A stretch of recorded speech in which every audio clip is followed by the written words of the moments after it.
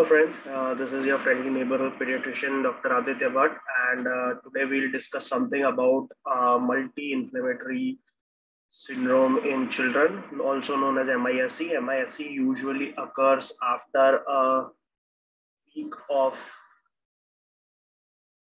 uh, usually occurs after uh, four to six weeks of COVID-19 infection so uh, it is a sequelae of COVID-19 infection and it is thought to uh, be a syndrome in which there is uh, improper uh, immune regulation and it is thought to have similarities with uh, diseases like Kawasaki syndrome. So we'll discuss something about MISC today. Uh, now, we'll, as a reference, we'll take IAP guidelines, uh, the standard treatment protocol, IAP usually releases such guidelines. So uh, MISC is, uh, it was uh, initially discovered in UK uh, and it is an uncommon uh, disease. And as I told you that it is related with Kawasaki syndrome, so you have to see and uh, know about its cardiac implications because there are very few disease having cardiac implications and that present with CCF in pediatric population. So for uh, diagnosing a patient with MISC, you actually need the age of the child to be less than 19 years and at least fever of three or more than three days. Uh, in uh, Kawasaki disease, we take it as six uh, equal to six or more uh, days of fever, while in this we take three. Now, uh, at least two of the clinical signs of multi-system involvement should be present. So the first sign is rash. As you remember in Kawasaki, the mnemonic is cream. We will also discuss. But as in Kawasaki, uh, the rash is present and it, it is usually uh, associated with bilateral non-purulent conjunctivitis and mucocutaneous inflammation of hand, foot, and mouth hypotension, uh, which is suggestive of cardiac involvement. There is evidence of coagulopathy and GI symptoms. So there are four systems involved here, skin, cardiac, liver, and GI system.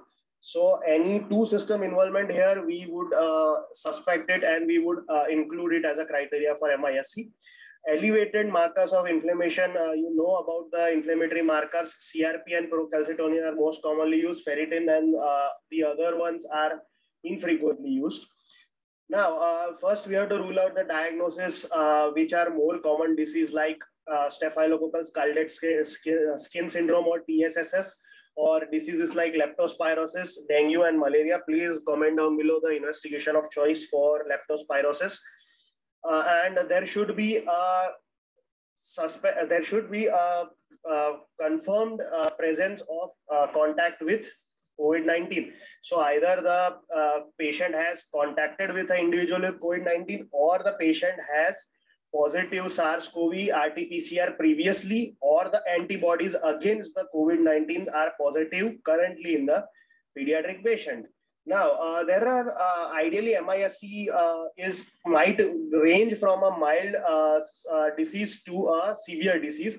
So in mild disease, we usually go for the tier one tests. And uh, if the patient is severely involved, then we go for the tier two test. So usually tier one test includes CBC, CRP, ESR, LFT, RFT, ABGA, blood sugar, and the the presence of uh, if if there is a severe uh, there there are severe symptoms then we also go for RT-PCR. ECG, ECHO, uh, NT-proBNP, and uh, ferritin, LDH, procalcitonin, interleukin 6, PT, APTT, D-dimer, and fibrinogen are done in the more severe and more resource-rich setting. Now, uh, tier 2 test you have to only and only do if any one of those, both of these are uh, present Uh, uh, uh, in tier 1 uh, test. So if CRP is more than 5 or ESR is more than 40 or ALC is less than 1000 or platelets are less than 1 lakh 50 or sodium less than 135. So if both of these criteria are fulfilled then and then only you have to go for the tier 2 test. If the tier 1 tests are negative, then it is very less likely that the patient might have MISC. Now, for the management of MISC, you have to go for ABCD you have to stabilize the patient and uh, this is the treatment for MISC. So with without shock, we have to give IV methyl prednisolone 1 to 2 milligram per kg per day.